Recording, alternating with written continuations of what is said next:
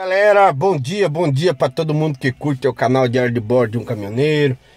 Pessoal que já assistiu muitos vídeos meus aí na, pelas estradas do Brasil. É, sem quase praticamente 2 mil vídeos. Estamos chegando aí na faixa de quase 70 mil inscritos. Mais de 20 milhões de visualizações em vários países do mundo. Uma galerinha que me acompanha no Japão, Portugal, Argentina, Uruguai, é, Estados Unidos. Tenho alguns amigos brasileiros que me acompanham em outros países. E estou desejando aí um ótimo domingo para todo mundo. Estou aqui na cidade de Lausanne, na Suíça. Hoje é dia 3 de janeiro de 2015. São agora, deixa eu ver aqui que horas que é, meio-dia, meio-dia e 10 aqui. São três horas diferentes do Brasil em relação ao Brasil a mais. Nessa época de inverno, no verão ele passa a ser a 4 horas. E esse dia eu fiz um videozinho sobre o interior do carrinho que eu comprei aqui, um Peugeot 206 2000 e 2002, modelo 2003. É um carrinho antigo, mas é, para quebrar um galho aqui, andar por aqui, é um carrinho econômico, a gente não tá fazendo muita coisa, é, viagem longa, mas dá para ir longe. Eu nunca não conheci o Peugeot 206, nunca entrei dentro de um Peugeot 206. O meu carro no Brasil era um Palio é, Attractive 1.4 e não sei se se tem alguma diferença com os carros do Brasil, então não posso saber qual a diferença daí ou do carro daqui. Então vou mostrar aí, alguém que já teve pode me dizer se tem alguma diferença ou não. Aqui é muito comum ver carros populares com coisa que no Brasil é raro. Você vê carros assim simples, com freio a disco nas quatro rodas. Dia o cara mostrou lá pô, um polo, ou o outro lá era um carrinho mais simples. O disco da roda traseira. Eu falei, mas pô, isso não é com lona, não, não, é freio a disco. Eu falei, rapaz, no Brasil é só carrão que tem freio a disco nas quatro rodas. Aí fui lá ver, realmente. Esse não, esse aqui é disco só na frente, é, atrás é, é lona. E algumas características aí que eu achei interessante, legalzinho. Os comandos de rádio dele, ó. É aqui na mão, ó. Mudar de estação, aumentar volume, ó. Ó. Mudar de FM. Ó. Ele aparece ali no, no painel lá, não sei se você consegue ver o volume. Ó. Muda de rádio, entendeu? É bem legal. Aqui você tem que andar com a luz acesa permanentemente, né? E esse rádio aqui, deixa eu abaixar o volume aqui, senão vai dar. Ele aparece ali todos os comandos lá, se você quiser mudar eles, ó. É balanço. Você tem todo o comando dele aqui no, no, no nessa seta aqui. É, o rádio é antigo ainda, vocês podem ver original ainda do tempo do toca-fita, né? Toca-fita, mas bastante funcional. Eu vou trocar, botar um com pendrive. Ele tem ar-condicionado, né? Aqui você tem várias distribuições do ar-condicionado. Ó, cima, embaixo, então bastante funcional. Circulação de ar, ar-condicionado comum, legal. É, ele é revestido de veludo por dentro, né? Por causa que aqui é um lugar muito frio, tá? Então ele é tudo aveludado. Os encostos de banco são são de couro. Tem espelhinho nos dois lados. que mais que eu achei legalzinho? Tem airbag, né? Você pode ativar o airbag. Regulagem do farol de milha lá na frente, ó. Você pode deixar ele na posição 1, 2, 3. Para que ele levante, ele regula sozinho o espelho, né? É, trava elétrica, vidro elétrico que mais que eu posso mostrar? É, tem aqui a, os vidros, né? Regulagem de espelho. Você pode aqui para você regular ele tipo um joystick. Para regular o espelho da esquerda e direita, acendedor de cigarro e nada demais interessante. É, outra coisa que achei legal, o, o banco tem regulagem de altura. Ó, vocês podem ver que eu tô baixinho aqui, ó. Eu posso erguer ele numa altura maior, deixar ele mais alto. Porque acho que ele tá numa posição mais alta. O encosto também bastante, bastante confortável. Você pode é, deitar, ele vira uma cama, literalmente. Ele tem um espaço bem grande atrás e o banco também tem. Ele afasta muito. Aqui, ó. Tiver uma pernona bem comprida aí. Tipo o meu amigo Givago lá. Schmitz, que tem uns pernão, parece um saracura. Ó, ele dá pra ter um espaço bem grande. E o banco ele rebaixa, como que é, banco de, de verdureiro, vai lá no, no socado no chão, se você quiser, e ele ergue para deixar você com mais conforto. Espelhinho aqui também, que eu acho que é uma frescurinha, mas tudo bem. De repente você quer espremer alguma espinha, alguma coisa, tem um espelhinho ali. E regulagem do cinto, né? Também é um detalhezinho. Eu tô meio ofegante porque eu tava fazendo uma caminhadinha aí, tá? Eu. Cara, é bem legalzinho. Desembaçador no espelho traseiro. É, ele é 1.4 a gasolina. É, tem alguns aí por aí que é 2.0 a diesel e tal. Esse é 1.4 a gasolina. Aqui não tem álcool, não tem, não sei porque não planto, não é viável, não sei o que. Tem muitos carros aí que são carros populares que é a diesel, né? É, é, Peugeot, Renault, mas carro dependendo muito muito pequeno a diesel dá muito problema na bomba de diesel, etc, etc. Agora, esse aqui é um carrinho bem simples, popularzinho, mas muito bom para andar por aqui, quebrar galho. Esse aqui é um disco de, de estacionamento, ó. Você coloca o horário aqui, né? Dependendo aqui o lugar, o local que você tá numa rua, alguma coisa. Você regula aqui e você tem direito a 3 horas. Ele é grátis, não paga, né? É só para ah, tem um controle de estacionamento rotativo. Você coloca o o horário e coloca em cima do para-brisa para que a pessoa tenha. Você pode ficar, tem direito a 3 horas, depois você tem que mudar a vaga. É, tem airbag, né? Freios ABS. E o que mais pode ser? Bastante luzes, alta, baixa, seta que você tem que andar com a luzeta. É, é 1.4, é econômico. É, tem vários comandos aqui no, que que digita-se nessa nesse bocal aqui, ó, dia, é, temperatura, lá, são tá 6 graus aqui, não sei se dá de ver, tá muito. Deixa eu dar um zoom aqui. Olha lá. 6 graus, o horário, informação da rádio. Então tem algumas informações aí. É, é um carrinho bacana, bacana, bacana. É veludo, tem ar quente. É só um somzinho aí, né? Que é bem primário, mas dá pra substituir ele facilmente. Aqui as portinhas de veludo, tá bem limpinho, bem conservadinho. Nunca tive Peugeot. É, outra coisa que me perguntaram, já, mas por que Peugeot Renault? Gente, nós estamos do lado da França aqui.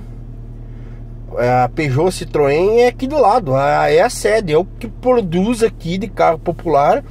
É Peugeot, Renault, Citroën. Estamos é, do lado da França. Para quem não sabe aí, a, a linha francesa de, de, de é, o Peugeot, o Renault, essas coisas são, são da França, são francês. Então é, é comum, é viável é, ter o carro daqui.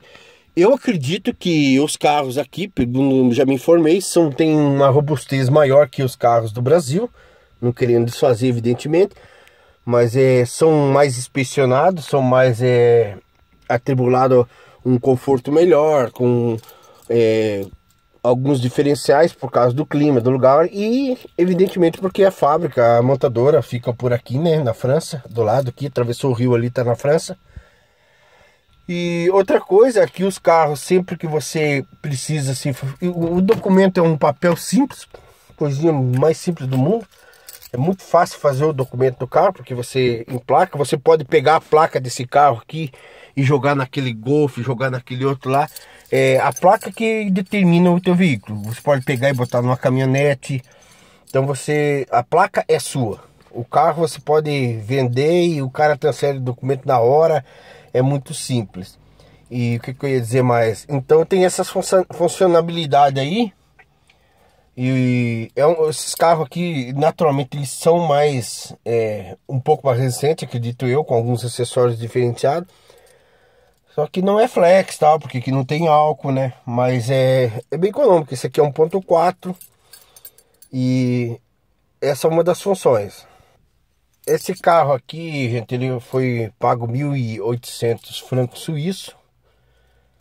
É, no Brasil isso aí daria 7 mil e poucos reais, mais ou menos, né? Só que tem uma coisa, gente, não dá para fazer essa comparação, porque aqui o salário é bem mais alto. Você teria que fazer mais ou menos essa conta. Você gasta 7 mil, mil reais num carro desse, mas você ganha 40 mil por mês. Daí você vai dizer se é um carro caro ou um carro barato. Porque aqui um salário bem aí do, do, do caminhoneiro pode chegar a 7 mil francos. Isso dá quase 40 mil reais por mês dependendo a empresa, mas é mais ou menos essa faixa de 5 a 7 mil francos. Então não dá para fazer essa comparação. Ele é um carro, essa comparação que eles chamam aqui chama-se conversão burra, entre aspas. Porque essa conversão não dá para fazer. Realmente não dá para quem entende um pouco aí sabe definir e entender o que eu tô falando. É, não, no começo também ficava assustado, queria comparar as coisas com o preço daqui com o real, transformava tudo em real na cabeça.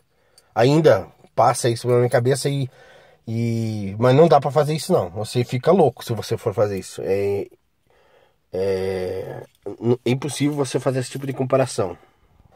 Teve um menino aí que perguntou para mim se podia estacionar na contramão. Cara, eu vejo muito carro estacionado na contramão. É, parece que, assim, aparentemente parece que pode, mas eu vou me informar com pessoas daqui que entendem um pouco mais de lei para ver se isso é legal, é, é lei ou não. Então não posso afirmar essa informação. Só que realmente eu vejo muito. Para ir tanto faz você estacionar na sentido da via como estacionar ao contrário. Aparentemente eu vejo muito carro assim. Agora não sei se é legal, então não posso informar corretamente, mas eu vou buscar essa informação para passar para vocês. As limitações de velocidade aqui são muito cobradas, muito restritas. Às vezes ficam carros escondidos, a paisana, para pegar o cara. É zona de 30 é 30, zona de 50 é 50. Então é muito, é muito observado isso. Tem que tomar cuidado. Habilitação você pode usar aí no período de, de, de que você está como turista habilitação brasileira, não tem problema. Pode dirigir um carro, um caminhão, alguma coisa, desde que não seja para vínculo empregatício. Você pode usar no período que você está de férias ou como turista, você pode usar a habilitação do Brasil Nacional. Depois você se legaliza no país, no caso na Suíça, você estando legalizado, você ainda tem um ano com a carteira brasileira para validar.